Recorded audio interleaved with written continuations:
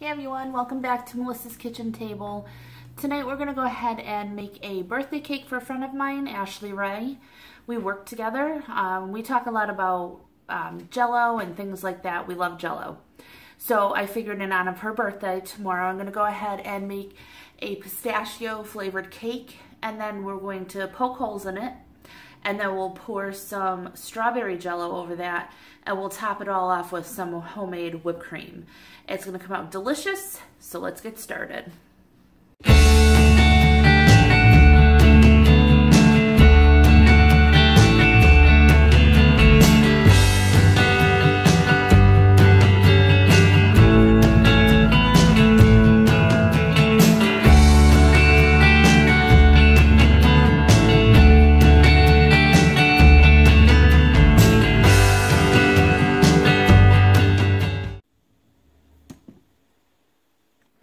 Alright guys, so we're going to go ahead and get started by making the cake. Now you can make a homemade cake or you can use a cake mix, whichever you prefer. Uh, tonight I need to do this pretty quick, so I'm going to use a box mix. But adding one of those other flavors to it is really going to make it uh, enhance the flavor. And to be honest, if you get a decent one, it's really just flour, sugar, I mean, this one, you know, doesn't have the best of ingredients. But people like it. So I have one package. I'm going to dump in my bowl here. And then you just need to follow the directions on the back. It calls for three eggs. So I'm going to go ahead put three eggs in here.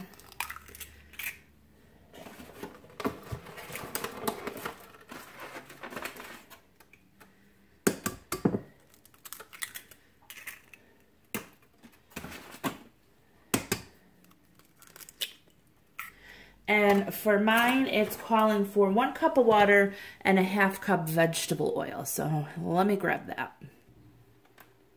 All right, I put in the one cup of water and I'm gonna go ahead and add one cup of oil. Now we just don't buy vegetable oil, but I have um, canola oil. That's fine to use. You just want a flavorless oil. So olive oil probably wouldn't be the best choice, but I'll be honest, I've used olive oil in cakes before and no one's ever noticed. If that's all you have, that's all you have.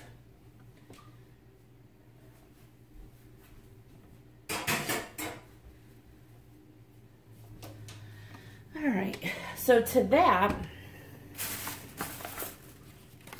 I'm gonna add one and a half packages of instant pudding. I'm using the pistachio flavor. And you could use chocolate, vanilla, butterscotch, whatever flavor you want. Any kind of combination that you like.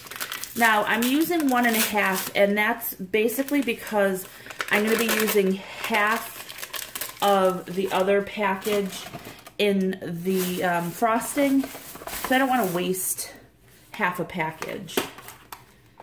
And I'm not going to measure it out to make regular pudding with it, so...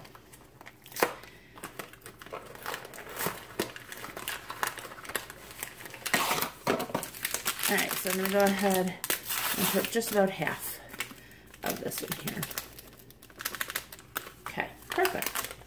All right, so what we're gonna do is go ahead, I'm gonna put this on the mixer, get this all incorporated, and it could be pretty loud, so we'll be right back. Okay, once it's done mixing, I'm gonna go ahead and just scrape the bottom, make sure everything's incorporated. All right, I'm gonna go ahead and I'm using a, let's see, 9 by 13, I think.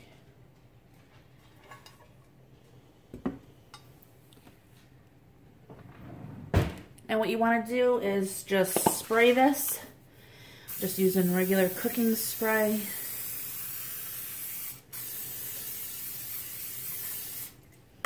You could um, use parchment paper if you'd like, but it should be fine. All right, so I'm gonna go ahead and dump this cake mix into this uh, pan. Now I have my oven preheating at 350. You're just gonna go ahead and follow the directions of your recipe or mix. And then uh, you're just to bake it um, according to the directions. You can also make cupcakes with these. Everything we do here, you could do with cupcakes. They'll come out really good too. Now, if you don't like the color, like it, it's a light green, which is fine. I don't really have a preference. Uh, but if you want it a little darker, you can go ahead and add some green food coloring to it. It's up to you. So I'm going to go ahead and throw this in the oven. Um, I think it's going to take probably 20 minutes or so. Um, again, just follow your recipe or your box mix. So once that's done, we'll be back. Okay guys, so I took the cake out, as you can see, it's right over here. I literally just took it out now. I have a small bag of strawberries. These were frozen. I let them defrost and I just put my hand in there and scrunched them up a little bit. Now, if you want, you could add sugar to this, um, but I'm going to be adding the jello to it. And I know, um, I know Ashley, so she doesn't like things super sweet. Um, but if you think it's going to not be sweet enough, you could always go ahead and add a couple tablespoons of sugar to that if you'd like. I think we'll be just fine. Because these are not in syrup. They're just plain strawberries. I guess you could use the one in syrup too, and then you wouldn't have to worry about that. Um, I'm going to go ahead and mix one container of gelatin um, with one cup of hot water and I'm going to mix that together. So let me go grab that. All right, so I have one cup of super hot water. You can use boiling. And I'm going to mix this one package of Jello in here. And this is the regular Jello. We don't use sugar-free. So I'm going to go ahead and just shake this up like so. And you really want the Jello to dissolve in there. So this is going to take a couple, you know, like a minute or two to um, go ahead and mix that up. So we'll be back. All right, so I'm done mixing that up. And I'm going to go ahead and pour that right into here. And we'll mix that together. Now, I did use um, cherry jello, but uh, I just wanted to try a different flavor with it. I use strawberry all the time, so I just wanted to try something different. Um, but of course, you could use strawberry, you can use raspberry, you can use any flavor you want. So I'm just going to let this sit here a little bit. We want that to mix up. And I'm going to go ahead and get another cup of boiling hot water for the other package of Jello. Okay, for this one, I actually got a cup and a half, not just a cup. And that's because those strawberries have a lot of juice in them, so it'll make up the rest. And I'm not doing um, the directions on the box. I believe it calls for two cups of water total. I don't want that much water. I want it to be uh, really thick. So I'm going to go ahead and use another package of Jello.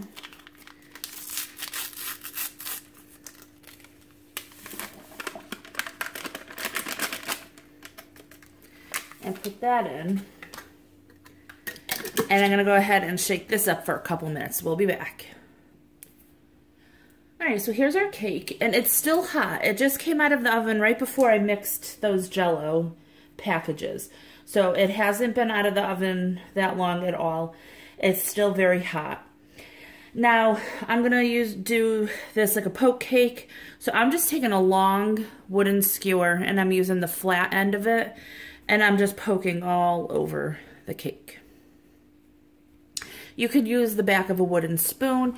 Just don't want it to be too, too thick. Like the silicone spoons that I use, they would be too big. It would just ruin, it would just mash the cake. If you don't have any of that, just use a fork and you could do the same exact thing with that.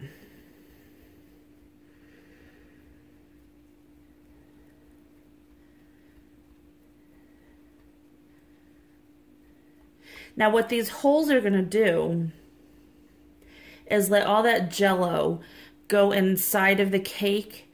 So you're going to have that flavor throughout the cake. And then when you cut into it, it's going to be really pretty looking because you're going to have little like waterfalls of red jello inside the cake.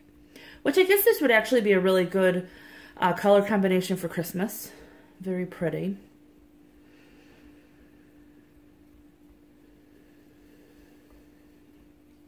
All right. So I just want to make sure enough filling goes in there. Now I'm letting the jello with the strawberries sit for a little bit. I want it to um, firm up a little bit because I want more of that to sit on the top of the cake. Whereas the box of jello that I just did with a cup and a half of hot water, that's going to soak into the cake. And that's what I want to do. So I'll give it one last shake so none of the jello sits on the bottom. Go ahead, open that up. And then I'm just gonna go ahead and pour it right over. And it's gonna be messy looking, but the cake soaks it right up. So a lot of it's gonna fall, you know, to the sides. It's liquid you're putting on here. But a lot of it will soak into the cake from the top and whatever is on the bottom will soak into the bottom of the cake so you don't have to worry.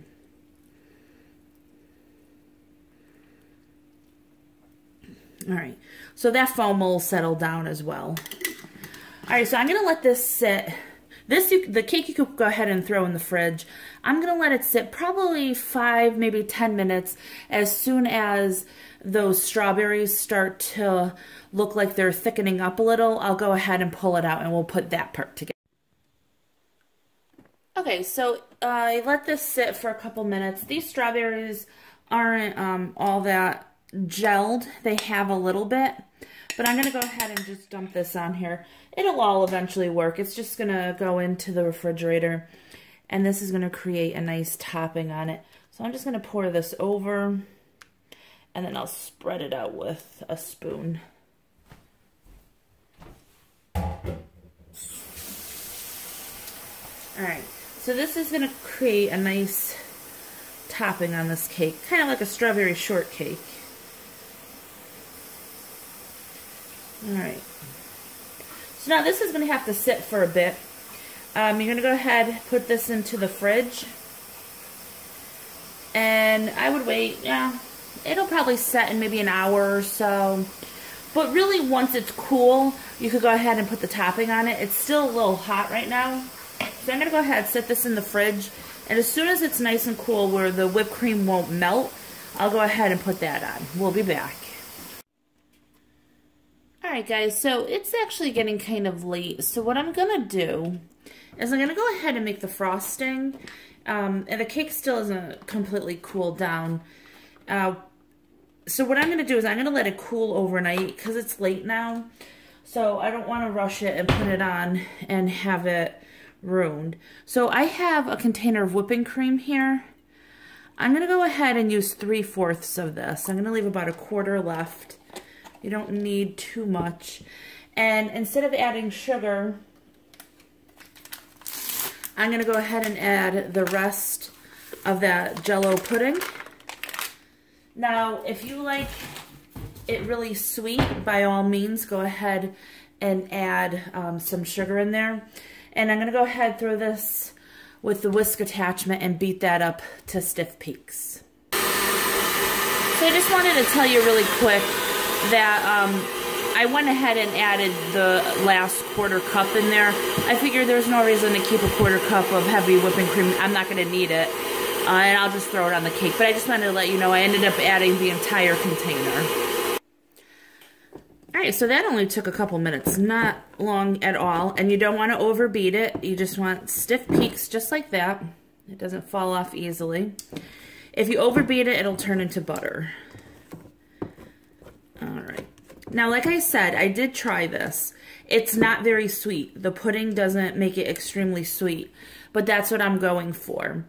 If you want it to be a little bit sweeter, I would add a couple tablespoons of sugar to it um, when you first start whipping it. So now I'm just going to keep this in the refrigerator overnight. And then in the morning before work, I'm just going to go ahead and spread it over the entire cake. And I'll go ahead and insert a picture of that at the end of the video so you can see what it actually looks like. So I hope you guys enjoyed this video and I hope you try this recipe. If you do, leave me a comment down below if you like it or if you tried a different version. And please give it a thumbs up, hit subscribe and share, and I'll talk to you next time. Bye.